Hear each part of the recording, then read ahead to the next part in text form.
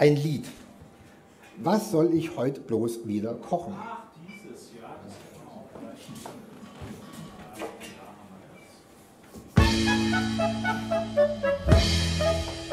Was soll ich heute heut wieder kochen? Das frag ich mich täglich seit Wochen. Denn was ich auch bring als Gericht, es gibt immer ein langes Keine Linse darf ich kochen, Bohne, Auflauf oder Fisch. Und kein Kotelett mit Knocher kann ich bringen auf den Tisch. Na, dann mach ich halt wieder wie jeden Tag los. Kartoffelsalat, Spätzle mit Soße. Koch ich heut zum Essen Linse, ja, dann ist es gar kein Frage, dass am Tisch noch einer dumm guckt. Das ist mein Sohn, weil der's nicht mag. Mach ich jetzt dagegen Bohne, na verdruckt die zwar mein Sohn, doch meine Tochter macht ne Zicke, denn die ist kein geboren. Mit nem Auflauf knusprig und mit nem Vanillesösle dran, damit kann ich ja nicht landen, denn die Speiser schläft mein Haar. Was ich bloß heut wieder kochen? Das frag ich mich täglich seit Wochen. Denn was ich auch bring als Gericht, gibt immer ein langes Gesicht. Keine Linse darf ich kochen, Bohne, Auflauf oder Fisch. Und kein Kotelett mit der Knoche kann ich bringen auf den Tisch. Na, dann mach ich halt wieder wie jeden Tag los. Kartoffelsalat, Spätzle und Soße. Ja, und nicht einmal am Freitag darf ich bringen auf den Tisch. Goldbart, Kabeljau und Hering, denn die Oma mag kein Fisch. Und versucht es mit einem Kotelett, wo der Knochen ist noch dran. Gell, dann meutert unser Opa, weil er den nicht nagen kann. Schimpft, was soll ich denn bloß machen mit dem Knochen da? Oh nein, hat denn keiner wir Verständnis? Beiß doch du mal ohne Zähne. Was soll ich bloß heut wieder kochen? Das frag ich mich täglich seit Wochen. Denn was ich auch bring als Gericht, es gibt immer ein langes Gesicht. Keine Linse darf ich kochen, Bohne, Auflauf oder Fisch. Und kein Kotelett mit der Knochen kann ich bringen auf den Tisch. Na, dann mach ich halt wieder wie jeden Tag los.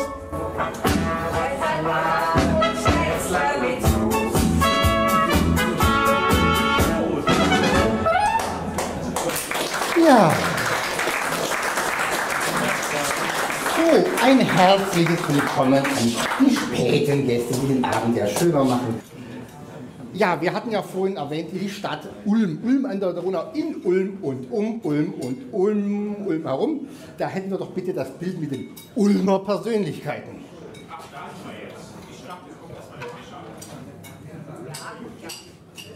Äh, die Persönlichkeiten aus Ulm.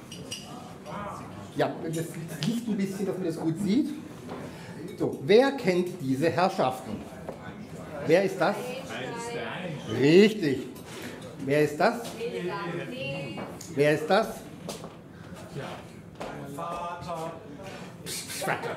Also Katharina hat gepetzt, das ist mein Vater. Alle drei, also äh, wobei übrigens mein Gut Vater, aussehend wie der Sohn. welcher Sohn? Ja, ähm, übrigens ist sowohl der aktiv als auch mein Vater waren beim Zeitpunkt der Aufnahme 25 Jahre alt. Ja, Einstein. Die Familie Einstein stammt aus Oberschwaben, aus der Nähe von Bad Schussenried und sind da seit dem 16. Jahrhundert als Einstein mit AI wohlbekannt. Und Albert Einstein ist eben hier 14. März 1879 in Ulm geboren. Äh, Hildegard Knef äh, am 28. Dezember 1925. Sie hat dann behauptet, sie sei in der Straße nie wieder Ulm gewesen, was nicht stimmt. Sie ist aber mit einem halben Jahr äh, alt, also halbes Jahr alt, früher auf 26 mit ihrer Mutter nach Berlin gekommen.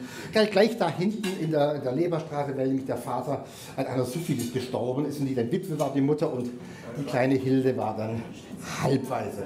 Und mein Vater ist am 12. März 38, steht in jedem Geschichtsbuch, da war nämlich der Anschluss Österreichs, das Deutsche Reich, geboren, auch in Ulm, ich war auch mal im Geburtshaus und äh, hat dann später sein, ähm, woanders, also ich meine in den Kirchen Linzburg gelebt. Mein Vater wird heute nichts singen, aber ähm, äh, natürlich werden diese beiden Persönlichkeiten äh, stellvertretend auftauchen.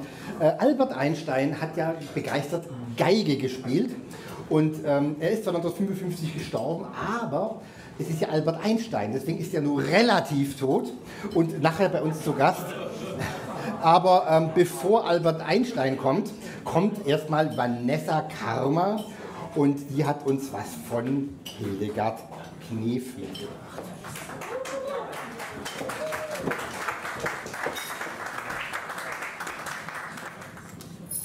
Guten Abend.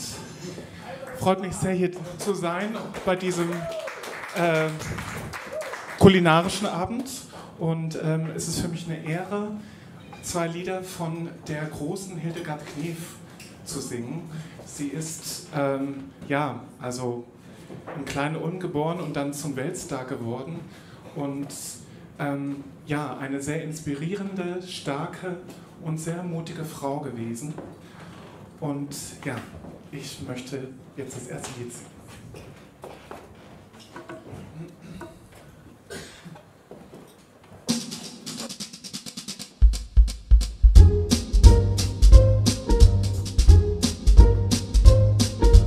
Leere bunte Zigarettenschachteln und zerknülltes Butterbrotpapier. Auf dem Schulweg, den wir täglich machten, seh ich, als ob's heute wär vor mir. Und wir klauten auf dem Beet vom Bahnhof für die Mutter den Geburtstagsstrauß. In dieser Stadt kenn ich mich aus. In dieser Stadt war ich mal zu Haus.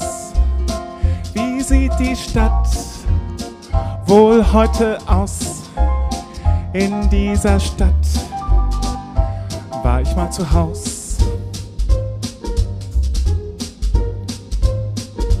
Zwischen zwei verdunkelten Laternen stand eine Bank, mein erster, der hieß Fritz. Ich wollte gern von ihm das Küssen lernen, aber seine Küsse waren ein Witz. Morgens grübelnd hinter blinden Scheiben wusste ich nur eines, ich will raus. In dieser Stadt kenn ich mich aus. In dieser Stadt war ich mal zu Haus. Wie sieht die Stadt wohl heute aus? In dieser Stadt war ich mal zu Haus.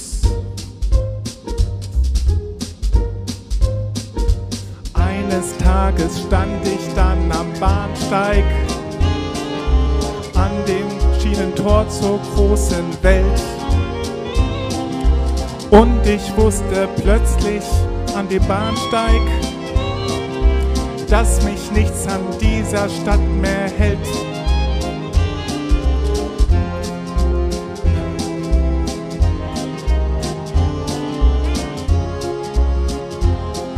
Kaum noch aus in dieser Stadt kenn ich mich aus. In dieser Stadt war ich mal zu Haus. Wie sieht die Stadt wohl heute aus? In dieser Stadt war ich mal zu Haus.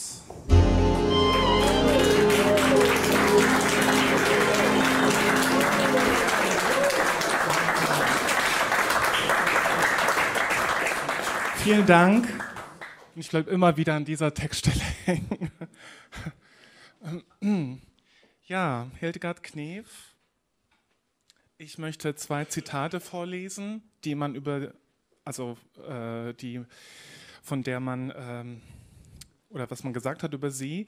Ähm, die New York Times hat geschrieben, die Knef gehört zum Besten, was je aus Deutschland gekommen ist. Und Ella Fitzgerald sagte, sie ist die größte Sängerin ohne Stimme.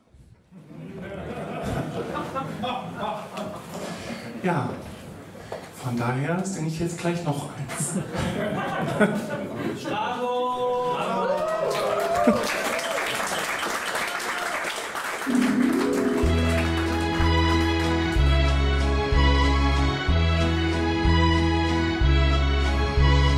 Eins und eins, das macht zwei, drum küss und denk nicht dabei, denn denken schadet der Illusion.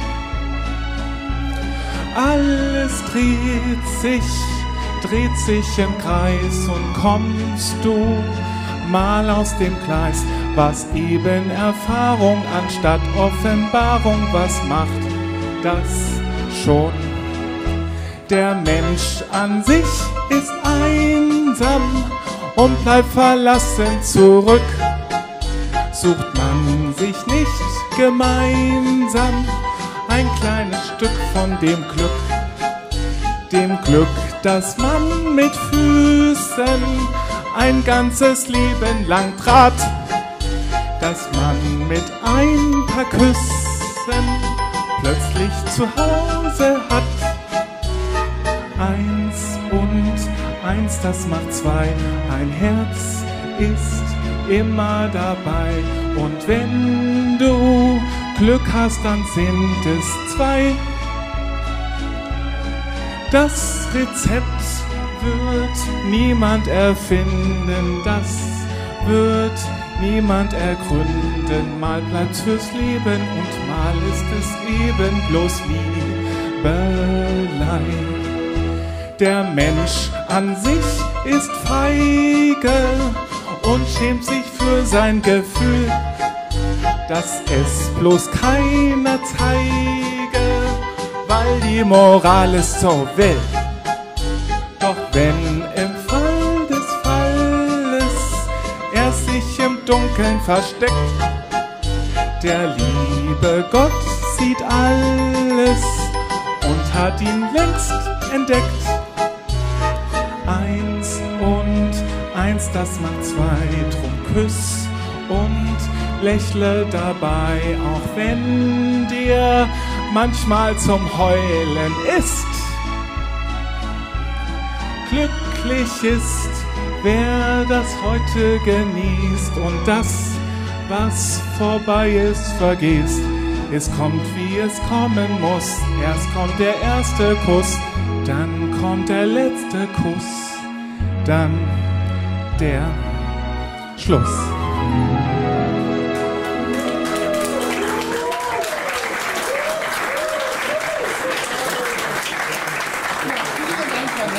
Vielen Dank, Vanessa Karma, für Hildegard Knef. Ich habe noch zwei Zitate von Hildegard Knef. Bitte, bitte. Zwei Zitate noch von Hildegard Knef. Ähm, das Glück kennt nur Minuten, der Rest ist Warteraum. Äh, auch von Hildegard Knef. Ich frage mich, warum heute hinsichtlich der Sexualität alles so sportlich geworden ist. Und ein letztes. Brüllen Frauen, sind sie hysterisch. Brüllen Männer, sind sie dynamisch. Sie war eine Feministin. Ja, ja, jetzt Zeit bei Frau. Dankeschön. Ja, es ist natürlich nicht verwunderlich, dass Hildegard Knef aus Ulm stammt, muss ja logischerweise ihre Zwillingsschwester Irmgard Knef auch aus Ulm stammen. Ne? Das ist klar. Irmgard Knef dürfte sicherlich der einen oder dem anderen ein Begriff sein.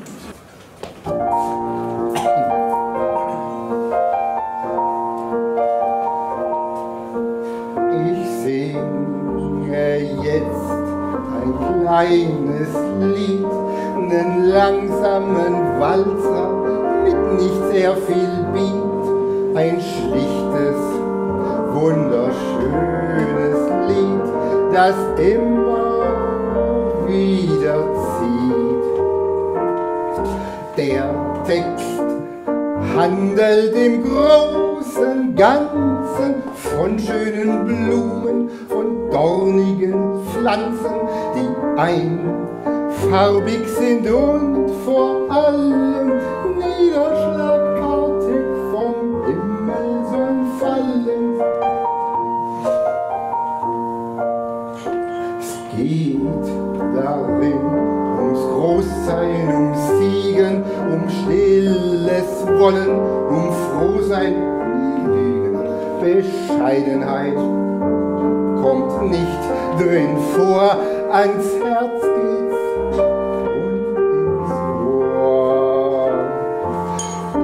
dann kommt die berühmte Stelle für alle Rosenverkäufer, die Hölle.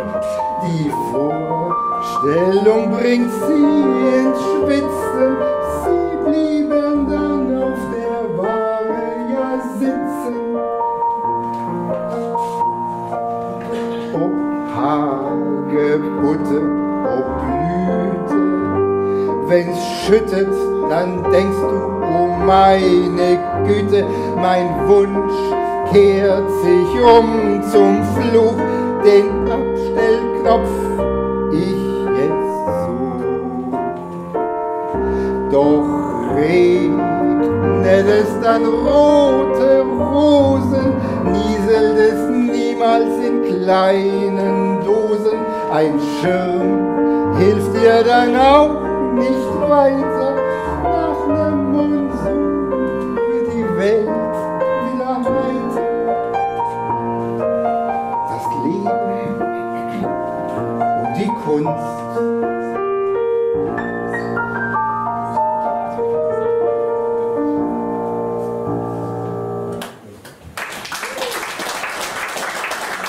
Vielen Dank. So, genau. Ähm, ja, wir waren bei Albert Einstein. Und da ist es ja so, der hat sich mal im Jahre 1945 an seinen Enkel Bernhard wie folgt geäußert. Es freut mich, dass du nun so ein reges Interesse an der Musik hast. Pflege es gut, es gibt keinen besseren Begleiter in diesem Leben. Ich kann mir mein eigenes Leben ohne Musizieren überhaupt nicht denken und habe in allen schweren Stunden und auch in frohen so gut mit mir in der Welt fertig werden können, weil ich stets diese Zuflucht gehabt habe, die einen frei und unabhängig macht. Ja, Einstein mochte Mozart, Bach und Schubert, Wagner fand er widerwärtig. Und äh, ja, ist ja alles relativ, nicht wahr? Und ähm, wie gesagt, äh, Albert Einstein 2.0 ist heute hier nur relativ tot und spielt etwas an der Geige. Da muss man kurz hier aufbauen. Braucht ja auch eine Notenständer.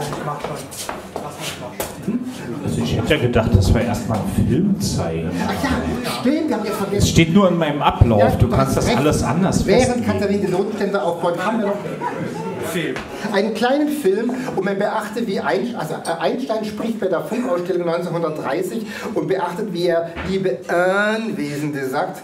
Dieses Anwesende ist sehr, sehr schwäbisch. Wir hatten das vorhin auch bei dem Rittersport. Ja, Film.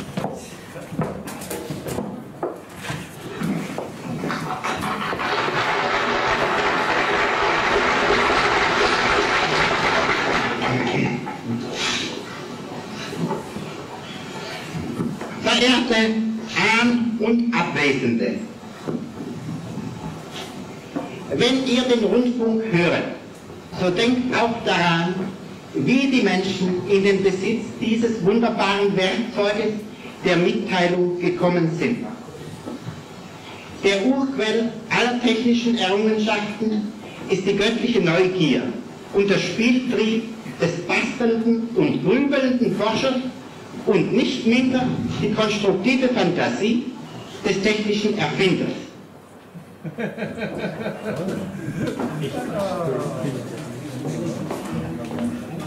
Ja, die konstruktive Fantasie. Also es schwäbischer geht's nicht mehr. Bitte jetzt Albert Einstein an der Geige. Ähm, und es ist ja wie gesagt Albert Einstein. Es ist was von Kreisler, aber eben nur relativ Kreisler, nicht Georg Kreisler, sondern Fritz. Äh, das Mikro. Ich mache es. Das soll auf die Bühne gehen. Ja, du, ich bin auf die Bühne.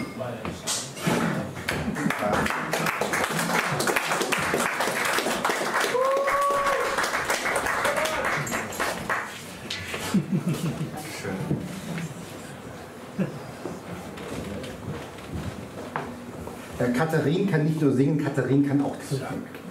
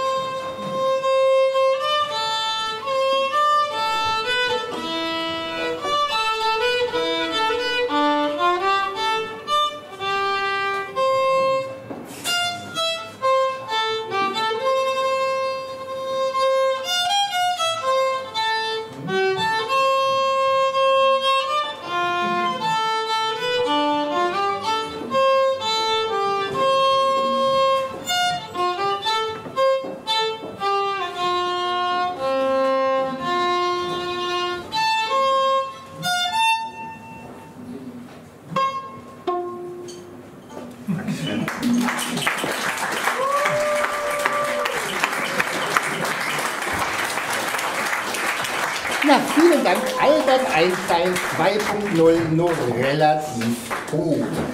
So, meine Damen und Herren sexuelle Zwischenstufen. Ähm, an dieser Stelle kommt jetzt, wir sind eigentlich jetzt so gut wie fertig, aber es kommt natürlich noch das vergessene Gedicht.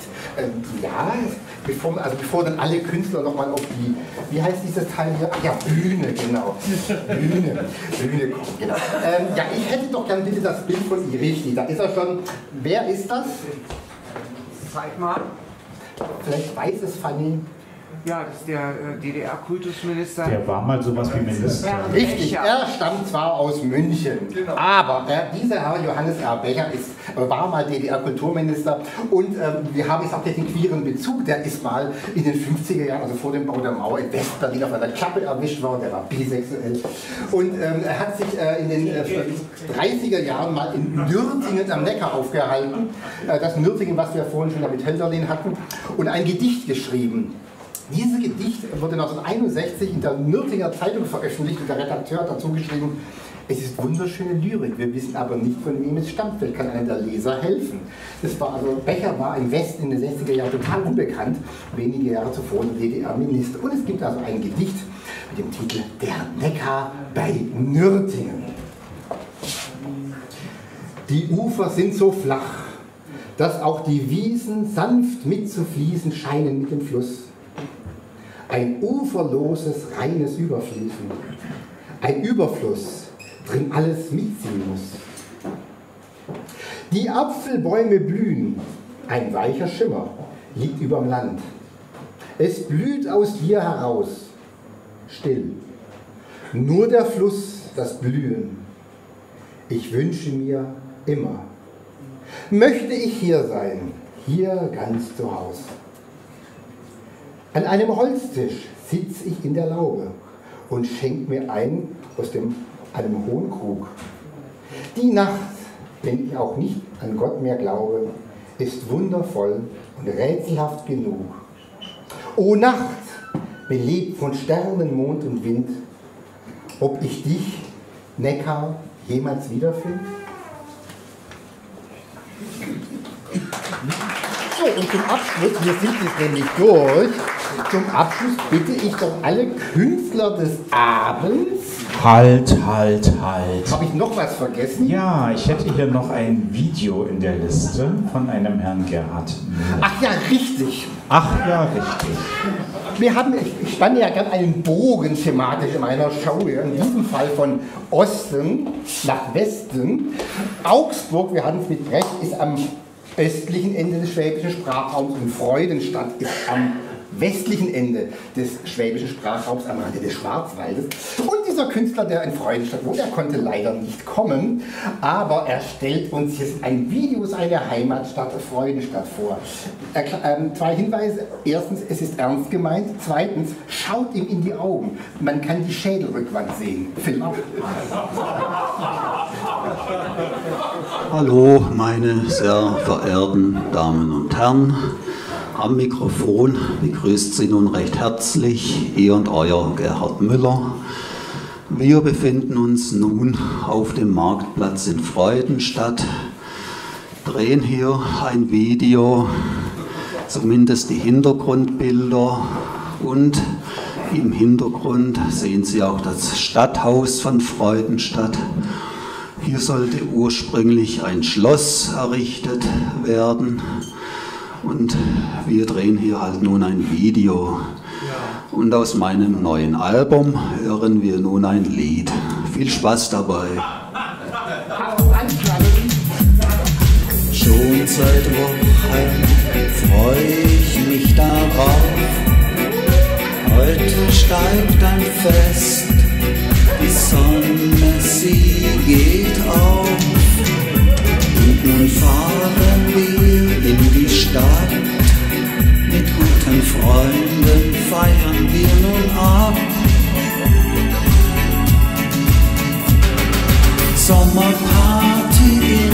Stadt. Gemeinsam machen wir die Sorgen platt. Und dazu viel Sonne satt. Schlechte Laune, keine Chance hat. Gute Stimmung, sie kommt auf. Und die Band, die spielt nun fröhlich auf. Sommerparty in der Stadt. Wir alle sind gut drauf. Alte Lieder, neue Eindrücke. Menschen kennenlernen und Neues erfahren. Gutes Essen und guter Wein, da lässt sich's fröhlich beieinander sein.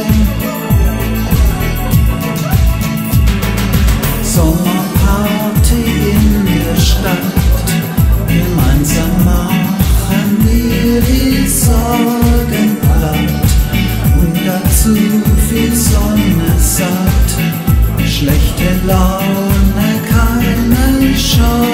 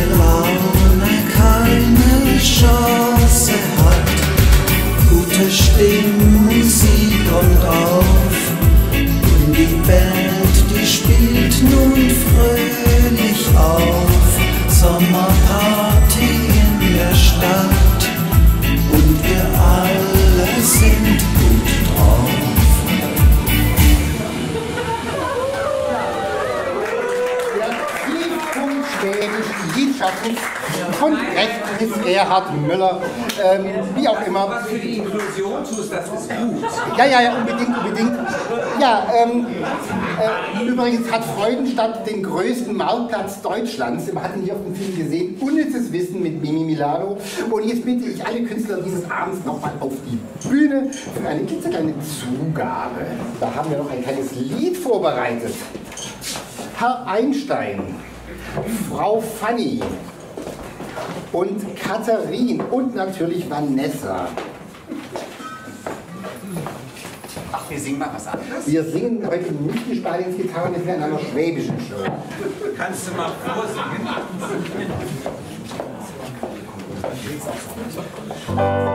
Ach, Schaffe, schaffe, Häuser bauen und nicht nach der Mädle schauen. Und wenn unser Häuser steht, dann gibt's noch keine Ruhe. Dann sparen wir, dann sparen wir auf die Ziege und die Kuh. Nochmal! Schaffe, schaffe, Häuser bauen und nicht dem Mädle schauen. Und wenn unser Häuser steht, dann gibt's noch keine Ruhe. Dann sparen wir, dann sparen wir für die Ziege und ne Kuh. Ja, ich hoffe, es hat euch gefallen. Kommt gut nach Hause. Ihr müsst doch nicht gleich gehen. Ihr könnt doch einen Absacker nehmen. Wir sind jetzt gleich zum, oder ich bin zum Anfassen gleich noch im Publikumsbereich. Und Katharin möchte noch etwas sagen. Ja, wir bedanken uns natürlich ganz besonders herzlich bei Mimi Milano!